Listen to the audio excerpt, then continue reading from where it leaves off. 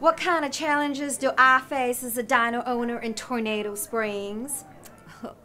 uh, honey, have you looked around here? Those hay bales on the roof aren't for insulation, you know, nor is the goat. But, being honest, it's not so much of a bother having the town turned upside down once in a while.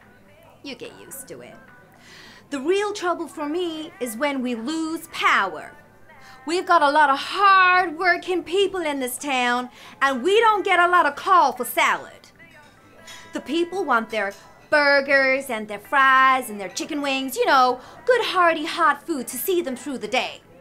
When the power is out, the fryers are out.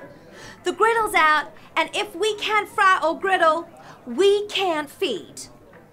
Good coffee will enliven the mind, but it does not satisfy the stomach. Things they are changing. Now we have two windmill towers providing power to the area.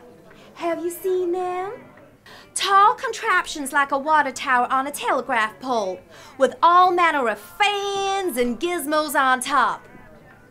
Al keeps wanting to tell me how they generate the electricity, but I know. I tell him it's science and that's nice, and that is all I need to know. Like I said to Cooper, you take care of the power, and I'll take care of the people.